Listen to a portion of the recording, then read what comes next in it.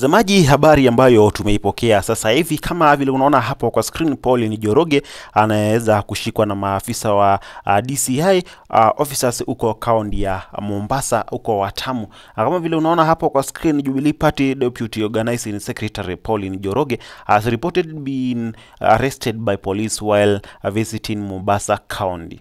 Azimio la Umoja on Saturday, July 22, uh, claimed that uh, Joroge, uh, Pauline Njoroge was uh, apprehended the company of our friends and aware about are unknown. Unaona mtazamaji, serikali yake bwana William Samoei Ruto inazidi kuwashika uh, watu ambao wana, wako karibu na ama watu ambao uh, wanaunga mkono azimio la umoja, kwa sababu Pauline Njoroge tunamjua kwamba ni moja kati ya watu ambao wamekuwa wakiunga mkono bwana sana Raila Amolo Odinga, na hivyo siku hii ya leo ukiona pale wameweza kushikwa uko Watamu na maafisa wa DCI kutoka uko uh, Watamu.